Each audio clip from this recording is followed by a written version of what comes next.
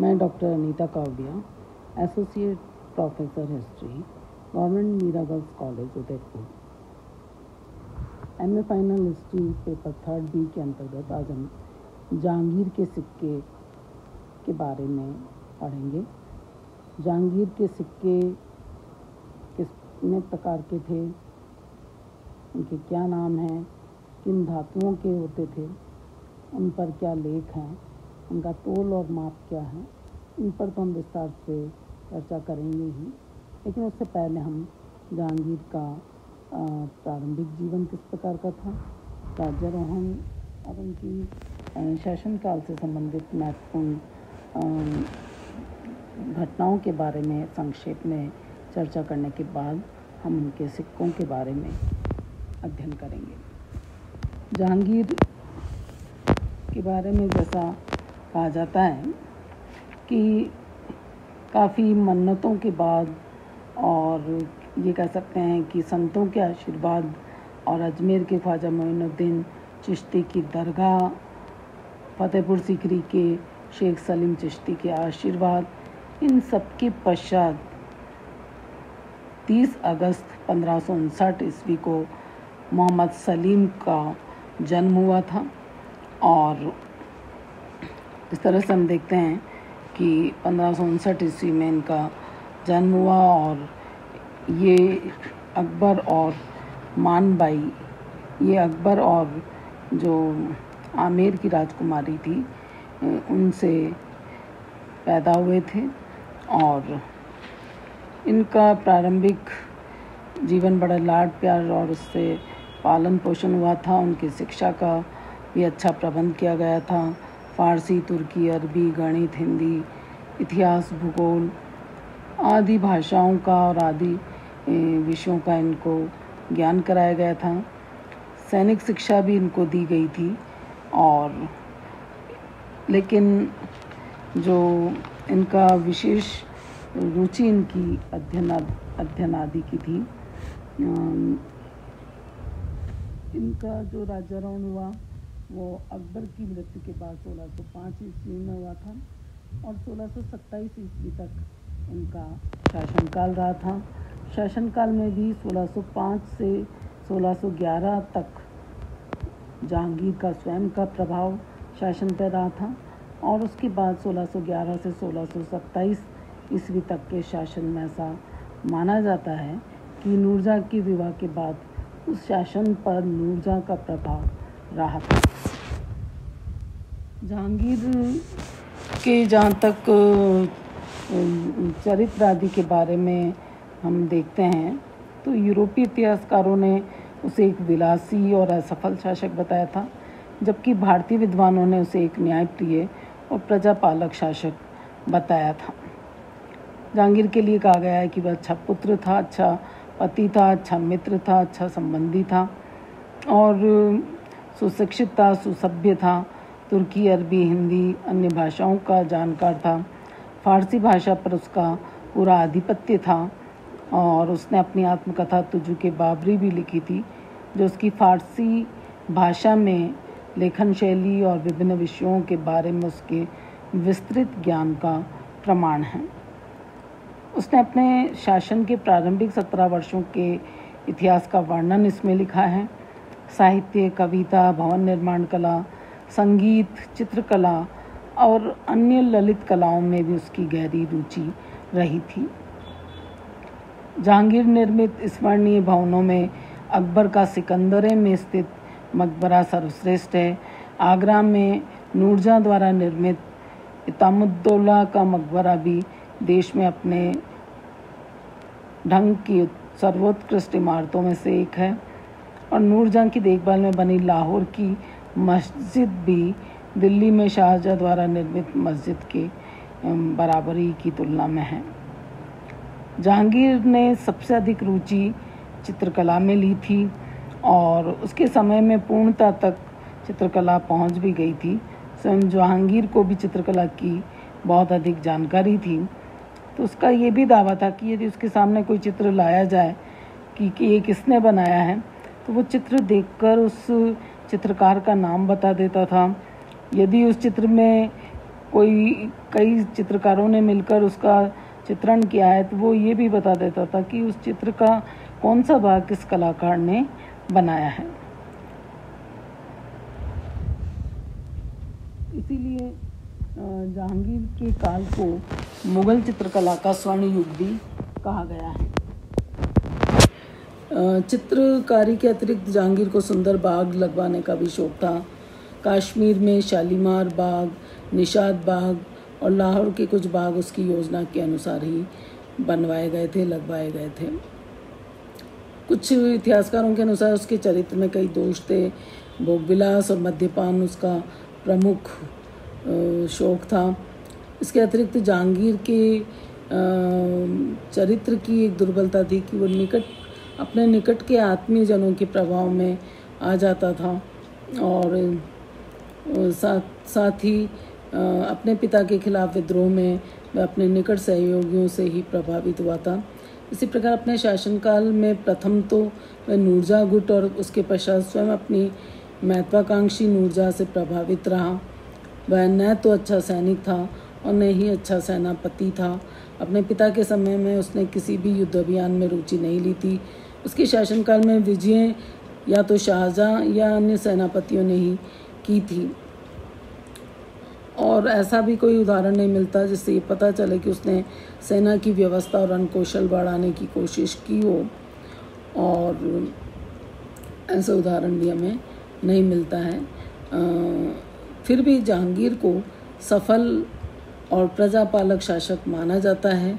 उसकी सफलता इसमें थी कि उसने अकबर के समय स्थापित शासन व्यवस्था को कायम रखा और उसके राज्यकाल में जनता की आर्थिक स्थिति अच्छे स्तर पर थी। उद्योग व्यापार की दशा भी उन्नत थी। यद्यपि उस समय अंग्रेज़ों से अंग्रेज़ों ने भारत से व्यापार करना शुरू कर दिया था और जहांगीर के दरबार में भी कई अंग्रेज़ आए थे जो यहाँ व्यापार करना चाहते थे। कई राजदूत इसमें आए थे। उनमें विलियम एडवर्ड था, या फिर उसके बाद में सर टॉमस रो थे। और उन सब का यहाँ पर व्यापार का उद्देश्य रहा था। लेकिन यहाँ हम देखते हैं कि जहांगीर जो थे, यद्यपि इस, उनके बारे में जो विद्वानों के मत मिलते हैं, उसमें एल श्रीवास्तव ने जो मूल्यांकन किया है कि जहांगीर को न तो हम महान शासक की उपाधि से अलंकृत कर सकते हैं और न उसको एक कुशल राजनीतिज्ञ ही मान सकते हैं और न ही एक विलक्षण विवेक युक्त प्रबंध करता ही कह सकते हैं। उसको किसी भी प्रकार सेना नायकों राजनीतिज्ञों की प्रथम श्रेणी में नहीं रह सक नहीं रखा जा सकता। परंतु ये भी निर्विवाद सत्य है कि वह एक सफल और उदार शासक था, जिसे अपनी प्रजा के कल्याण का सदैव ध्यान रहता था। तो इस तरह से जहांगीर के बारे में हमें ये जानकारी इतिहास के लेखकों द्वारा मिलती है। अब हम जहांगीर के सिक्कों के बारे में चर्चा करेंगे। जहांगीर का राज्यारोहण जैसा हमने कहा कि अकबर की मृत्यु के बाद हुआ था। तब उसने सिक्के न ढालने का आदेश दिया था।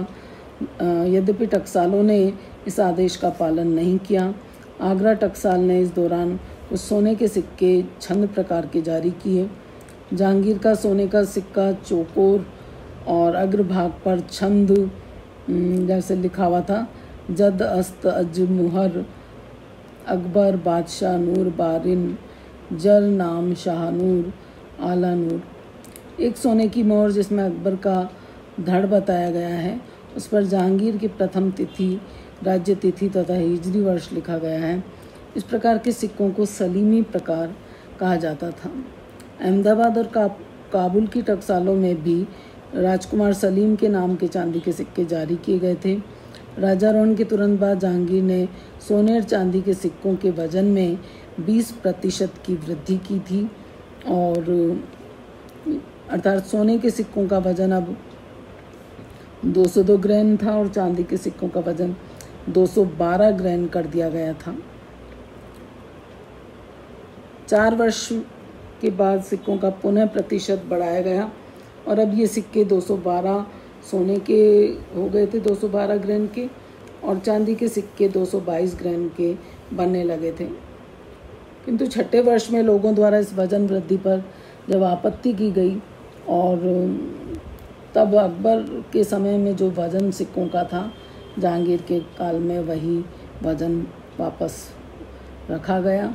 तो अब सोने के सिक्के 170 ग्राम के और चांदी के सिक्के 178 178 ग्राम के प्रारंभ किए गए, जो कि उसके राज्यकाल के अंत तक भी चलते रहे थे, बने रहे थे। शासन के प्रथम वर्ष में विभिन्न वजनों के सिक्के डाले गए थे और उन्हें नए नाम से जारी किया गया था। वाक़ात जहांगीरी के अनुसार सोने का सिक्का नूर शाही कहलाता था।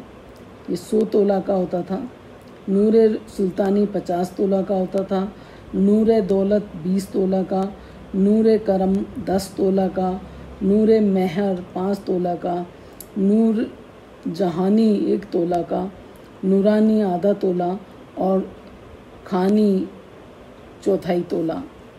तो ये सोने के सिक्के के तोल माप थे। नूर ए शाही सौ तोले का है, वहीं पचास तोले का नूर ए सुल्तानी था और नूर ए दौलत बीस तोले का था, दस तोले के थे, पाँच तोले के थे, एक तोला, आधा तोला, चौथाई तोला। तो इस तरह से सोने की हमें अलग अलग तोल के कम, ज़्यादा से कम के सिक्के जहांगीर के समय में मिलते हैं। इसी तरह से चांदी के सिक्के इनके भी अलग अलग नाम थे। कोकाब ताली सौ तोले का कोकाब बख्त पचास तोले का कोकाब ए साध पाँच तोले का, जहांगीरी एक तोला, सुल्तानी आधा तोला, एशियारी चौथाई तोला और खेरे काबुल दशमलव प्रणाली के सिक्के थे। जहाँ तक जहांगीर के सोने के सिक्कों की बात है, उसमें हमें एक सिक्का मिलता है, छंद प्रकार का सिक्का, जो कि राज्याभिषेक के बाद जहांगीर ने आदेश दिए थे कि उसके सोने और चांदी के सिक्कों पर छंद का प्रयोग किया जाना चाहिए। जिसको अमीन उल अमरा शरीफ खान इस पर लिखा होता था। और जहांगीर के छंद प्रकार के सिक्के के अग्रभाग पर शाह नूरुद्दीन जहांगीर इब्न अकबर, बादशाह अकबर के ऊपर राज्य का तीसरा वर्ष लिखा मिलता है। और पृष्ठ भाग पर रुई जर साथ नुरानी बरंग मेहर व महा जर्ब लोहार हिजरी संवत 1016 दाइनी और लिखा मिलता है।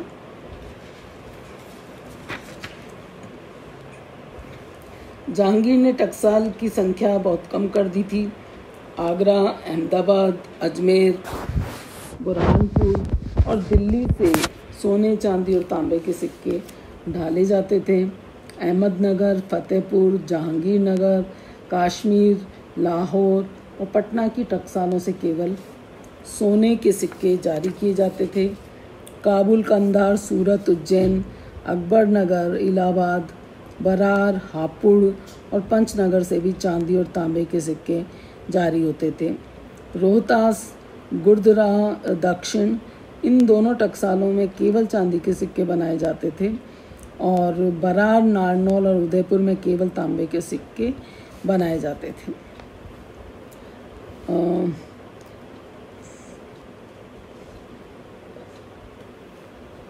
प्रथम तीन वर्ष के सिक्कों पर ही हमें छंद प्रकार के, छंद का प्रयोग मिलता है। इस काल में कलमा प्रकार के सिक्के भी बनाए गए थे, जिसमें जहांगीर ने कलमा का फिर से प्रयोग किया था और खलीफा का नाम अंकित करवाया था। इस प्रकार के सिक्कों में सिक्कों के एक भाग पर कलमा और दूसरे भाग पर नूरुद्दीन मोहम्मद जहांगीर बादशाह जहांगीर बादशाह जहांगीर लिखा हुआ मिलता है। इलाही संवत का प्रयोग जहांगीर ने नहीं किया। उसके सिक्कों पर उसके राज्यकाल के वर्ष और हिजरी संवत दोनों का उल्लेख मिलता है। राज्यकाल के छठे वर्ष के बाद सिक्कों पर नूरुद्दीन जहांगीर शाह अकबर शाह और दूसरी तरफ़ टकसाल का नाम महीने का नाम शासन का वर्ष और हिजरी संवत मिलता है। इस प्रकार के सिक्के उन्नीसवें वर्ष तक जारी किए गए थे। इन सिक्कों के अलावा छंद प्रकार के आ, कई सिक्के जारी किए गए। विभिन्न टकसालों में विभिन्न प्रकार के छंदों का प्रयोग किया गया और चांदी के टंके में एक और जहांगीर शाह एक हज़ार सत्ताईस हिजरी लिखा है और चारों ओर छंद लिखे होते थे। छठे और नवे वर्ष में जहांगीर ने सोने के सिक्के बनवाए जिस पर उनकी स्वयं की आकृति मिलती है। संभवतः ये सिक्के उसके चहते व्यक्तियों को दिए जाते थे। कुछ सिक्कों पर जहांगीर की आकृति विभिन्न मुद्राओं में भी मिलती है। जहांगीर के सोने का सिक्का एक जिसमें जहांगीर की आकृति बाई और शाह, शाहबीह जहांगीर, शाह अकबर, शाह और दाई और सनह छः जुलूस लिखा हुआ है। पृष्ठभाग पर राजकीय प्रतीक उगता हुआ सूरज और शेर और नी, उसके नीचे सनह एक हज़ार बीस हिजरी सम्मत है। कुछ सिक्कों पर उसके हाथ में फूल या कप दिखाई दिखाई देता था। सातवें वर्ष के सिक्कों में राजा को आसन मुद्रा में हाथ में कप लिए दिखाया गया है। एक अन्य सोने के सिक्के में जहांगीर सिंहासन पर आसन मुद्रा में बैठा हुआ है। दाई तरफ़ मुँह किए हुए है। सीधे हाथ में प्याला आकृति प्याला आकृति के दोनों ओर छंद, कजा, बर, सिक्का, जर, कर्द, तस्वीर शाबी हज़रत शाह जहांगीर और पृष्ठभाग में मध्य में सूरज छंद हारूफ जहांगीर व अल्लाह अकबर, जरोज़, अज़ल, दर, अदत, शुद्ध बराबर। यमुन सन छः दाई और और जर्ब, अजमेर, एक हज़ार बाईस बाई और लिखा गया है। राशि प्रकार के जो सिक्के मिलते हैं, वो उनके राज्यकाल के तेरहवें वर्ष में इन्होंने जारी किए थे कुछ परिवर्तनों के साथ। पहले ये रिवाज था कि सिक्कों पर एक और जहांगीर और दूसरी तरफ़ शासन का मांस और शासन का संवत होता था। अब उनके मस्तिष्क में ये आई कि मांस के नाम के बजाय मांस की राशि की सूरत बनाई जाए, जैसे फरवरी के महीने फरवरदीन के महीने में भेड़ अधिविष्ट के महीने में बैल की आकृति और जिस महीने का सिक्का हो उस माह में उस नक्षत्र के महीने में सूर्य हो तो उसी की शक्ल के सिक्के पर बना दी जाए। जहांगीर की ऐसी सोच थी और वाक़ात जहांगीरी में भी जहांगीर के सिक्के उसके आदेशानुसार बनने लगे थे। ये राशियाँ राशियों के चिन्हों के साथ सिक्कों पर खुदी हुई मिलती है। जहांगीर के सिक्कों पर लेख लिखने की कला लेख लिखने की जो परंपरा थी कला उन्नति के शिखर पर पहुँच गई थी। सिक्कों पर बहुत खूबसूरती से छंद लिखे गए थे। लिखने का ढंग अत्यंत सुंदर और कला की दृष्टि से मुगल काल में जहांगीर के सिक्के सबसे श्रेष्ठ माने जाते हैं। जहांगीर के बाद के समय में उसका स्वास्थ्य खराब रहने लगा। शारीरिक और मानसिक दृष्टि से कमज़ोरी रहने की वजह से नूरजहाँ ने शासन की बागडोर अपने हाथ में ले ली थी और जहांगीर के उन्नीसवें वर्ष से नूरजहाँ शासिका के रूप में कार्य करने लग गई थी। सिक्कों के माध्यम से उसने इस बात की घोषणा कर दी कि अब सिक्के आगरा, इलाहाबाद, अहमदाबाद, काश्मीर, लाहौर, पटना, सूरत की टकसालों से जारी किए जाने लगे। इन सिक्कों पर जो छंद मिलता है, जी हुक्म जा, शाह जहांगीर आदि जो है, उसके आगे फिर बनाम नूरजा बादशाह बेगम जर इसका अर्थ है शाह जहांगीर की आज्ञा से सोना सौ गुना ज़्यादा सुंदर हो जाता है, जब उस पर नूरजा बादशाह बेगम का नाम लिखा होता है। इस प्रकार के सिक्के जहांगीर के राज्यकाल के अंतिम समय पर जारी किए गए थे।